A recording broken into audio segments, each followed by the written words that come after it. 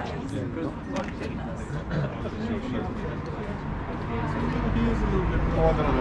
you.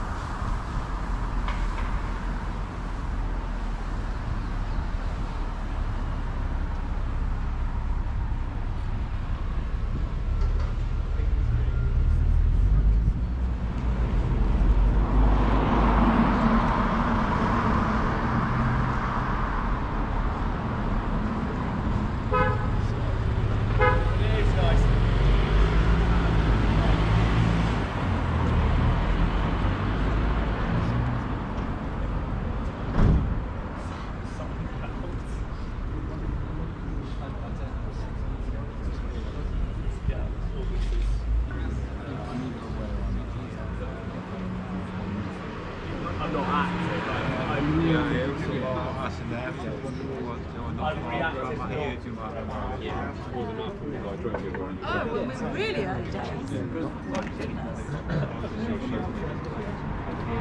He is a little bit more than a